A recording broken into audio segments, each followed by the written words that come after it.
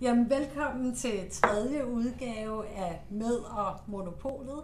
Som, øh, som I måske lægger mærke til, så er Monopolet skiftet lidt ud siden sidst. Det er tanken, at vi laver lidt løbende udskiftning i, hvem det er, der kommer og drøfter forskellige spørgsmål og dilemmaer, så derfor så starter vi lige med en præsentationsrunde. Men lad os starte med dig, Hanne. Du har været med før. Ja, jeg har været med før. Og jeg hedder Hanne Appelgren, og jeg er næstformand i hovedudvalget. Og jeg hedder Sten Madsen og er fælles tillidsrepræsentant for lærerne, og dermed også i HMED. Og jeg hedder Søren Trier, og jeg er velfærdsdirektør. Og jeg hedder Christine Bogdorf, og er kommunaldirektør. Vi har fået post igen i dag. Øh, den her gang et lidt konkret spørgsmål, øh, som handler om de mange forskellige cykeltyper, som medarbejderne efterhånden kan bruge. Og, øh, og nogle af de der ret store ladcykler og forskellige sådan typer af, af grøn transport, de fylder en hel del i cykelskuerne rundt omkring. Og der er en, der spørger til, om vi ikke kan få noget ekstra skurplads på rådhuset, så der er plads til, at ens øh, forskellige cykel øh, det kan stå, øh, kan stå aflåst i løbet af dagen.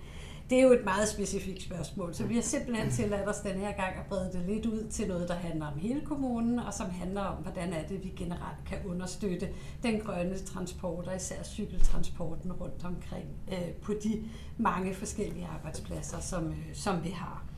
Øh, for det der med grøn transport, det er der noget, vi gerne vil, er det ikke, eller? Helt bestemt.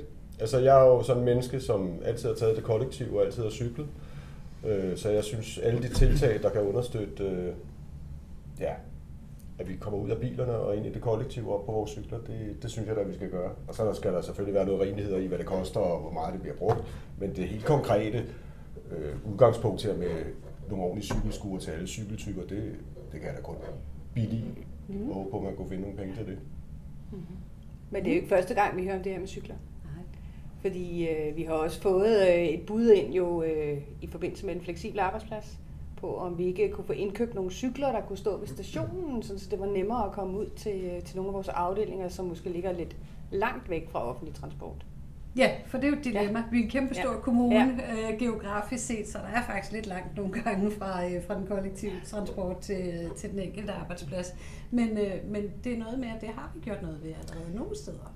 Ja, vi har gjort ved nogle steder. Altså, vores udfordring er nogle steder, der, som du siger, er, langt. Men øh, vores hjemmepleje for eksempel er jo delt op i mere geografiske områder, og de øh, bruger faktisk i høj grad enten øh, deres egne cykler, eller øh, cykler, som er, som er indkøbt fra os af. Og det, øh, det fungerer faktisk rigtig fint. Øh, så har vi selvfølgelig nogle medarbejdergrupper, der går på tværs af hele kommunen, men noget af det er også at skabe en kultur, som du siger, Sten, om at øh, man til nogle ture måske kan bruge cyklen, og til andre ture kan, kan bruge bilen. Og der tror jeg, at et af nøglepunkterne det er, at det er sådan en vis tilgængelighed. Øh, hvis man kommer med tog, er det så muligt at få en cykel ret nemt, og øh, øh at det til at komme til den, og øh, bliver den vedligeholdt osv. Det, er det er jo nogle greb, vi kunne sige, at der kunne vi relativt hurtigt øh, øh, bruge nogle penge på nogle cykler frem for, for vores biler. Så har vi også øh, en af børnehaverne, som har to matrikler. Der har vi sådan set indkøbt nogle, nogle rigtig fine ladecykler, hvor børnene bliver afleveret i den lidt større institution, og så cykler til den, øh, den mindre institution ude i, øh, ude i Smørum. Og det er både øh, medarbejdere og børnene er sådan set rigtig, rigtig glade for det. Så det tænker jeg er et godt eksempel på, hvordan det kan lade sig gøre. Men rigtig meget det handler også om kultur på arbejdspladsen, hvordan man vender sig til at, at gøre det på en bestemt måde. På Kildedal station, der ved jeg, at Uticon og Novo har indkøbt en hel masse løbehjul, som står der for, at deres medarbejdere hurtigt kan komme frem og tilbage på, på den der afstand på, hvad er der, 700 meter mm-hmm. eller sådan noget fra stationen op til Uticon i hvert fald. Men det er jo et ret stort vedligehold. Hvem er det, der skal løbe rundt og lade cykler op og sikre, at de er de rigtige mm. steder og finansiere indkøb og øh, tage over dem og cykelhjelme til alle, så vi kører forsvarligt og Hvordan er det, vi skal få det til at hænge sammen? Er det ikke altid et økonomisk spørgsmål, tænker jeg? Hvordan skal vi finde, øh, hvordan skal vi finde pengene? Det, det, øh, det synes jeg er svært at svare på. Altså, fordi vi vil jo rigtig, øh, vi vil mange ting. Øhm, men hvordan vi finansierer det, det, det ved jeg, jeg har ikke noget svar på det. Men det er også noget med at få udbredt ideen, mm. altså så man kan tage tanken op, eller tage debatten op, eller diskussionen op på den enkelte afdeling eller institution, og sige, ja, det er noget for os, vil det altså give noget lettelse på den ene eller på den anden måde. og så kommer sundhed som en, Hmm.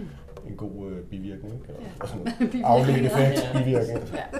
Jeg Men, tænkte, øh, ja.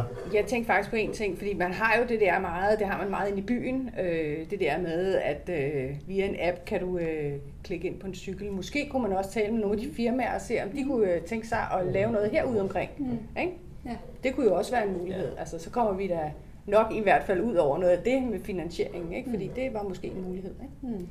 Jo, jo, og så måske den, den, enkelte, den enkelte organisation kigger på at sige, hvis vi har over 20 medarbejdere, hvor meget bruger vi i virkeligheden på og kurs, kørselsgodtgørsel, så skal det egentlig lægge så mange kilometer til, før man kan sige, det giver en eller anden volumen, som kunne vi bruge dem på, på en anden måde at starte med, måske bare købe en cykel og se, bliver det brugt, og så det tror jeg også noget med at, at, at plante muligheden hos nogen og få, få sat gang i det. Øhm, Og så selvfølgelig sørge for, at der er plads til, at vi kan parkere dem, ikke? jo. Der hvor vi Det er kommer hen, også ikke? det. Ja. Ja.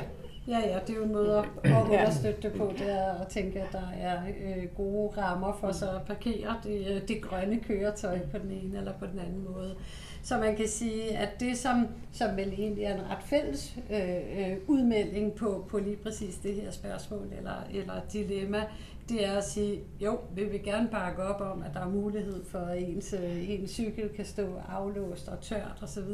Der er en økonomisk udfordring i det, og i forhold til forskellige typer af transportmidler, så er det måske ikke sådan en kernekommunal drift, men måske noget, vi skal gå i dialog med nogle af dem, som er vant til at sørge for den logistik omkring sådan nogle elkøretøjer, øh, og se om de kan hjælpe os med at skabe en eller anden øh, form for løsning. Den del tænker jeg i hvert fald godt, vi kan tage med tilbage og, øh, og give et skud. Så, øh, så det, var, øh, det var med om monopolet for, øh, for denne her gang. Øh, ikke med en fuldstændig konkret og skudsikker løsning, øh, men sådan er det jo med monopoler. Vi mener og synes mange forskellige ting, og der er jo en stor øh, kommunal drift og økonomi, der også skal hænge sammen. Men, øh, men denne her, den lover vi i hvert fald at gå tilbage og undersøge, om der er nogen, der kunne være interesseret i at byde ind på nogle løsninger. Så øh, tak for nu, og tak for snakken. Selv tak. Selv tak.